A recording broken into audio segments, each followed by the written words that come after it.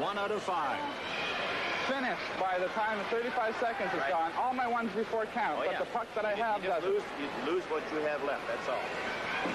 Mike Bossy getting final instructions from referee Art Skov. He's our final shooter. He could win $5,000 if he performs well now on the five shots coming up. He was our leader coming in. All he needs is one goal, Brian. Just one.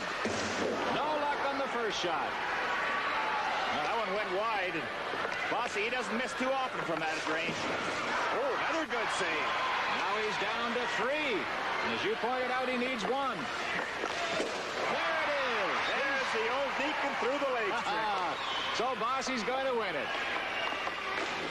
Oh, another one. Boy, does he have good puck control. He waits for Larocque to go down and just flips it home. Let's see if he finishes with a flourish. Oh, he does. He tucks the other one in. Three straight goals. What a finish. Mike Bossy, our champion in the Winger Series.